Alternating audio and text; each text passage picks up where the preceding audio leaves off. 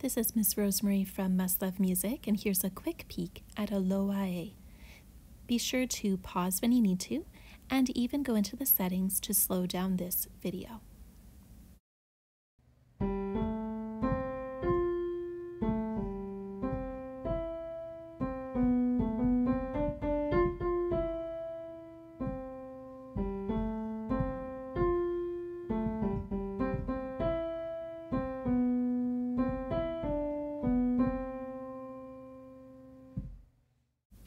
Thank you so much for watching. Be sure to check in the description for specific tips that will help you with this song.